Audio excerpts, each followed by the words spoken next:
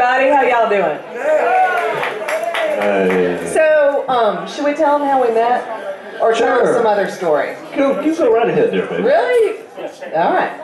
So John and I have been to Ramones concerts, like standing right over here. Never met.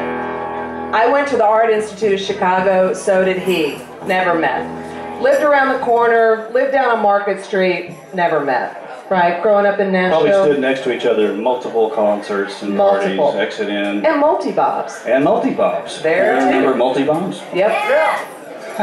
so I moved back to Nashville after getting my master's degree, and it was around Christmas time.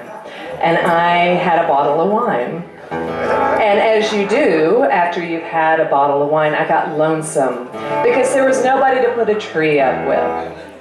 So, what do you do when you're lonesome after having a whole bottle of wine mm-hmm. right before Christmas?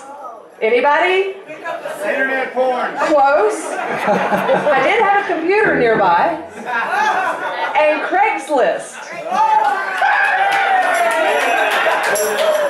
All right, so I get on Craigslist and I made a want ad. And it was about this long. And it was all of the things that I was looking for in a person to help me put up a Christmas tree. And then I went to bed. And then I got up and had breakfast, you know, like you do, read the paper, had some coffee, uh, went to the computer. I had 135 replies. Well, she was. It was one of the few listings that didn't say, "I want a prince to come and take me away."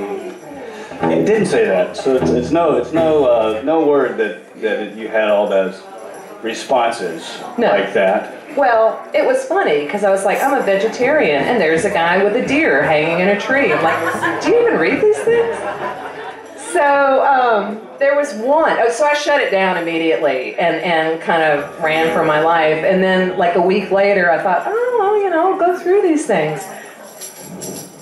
That guy. Yeah. Lucky me, man. How I'll tell you what. that? Fucking Craigslist. That was uh,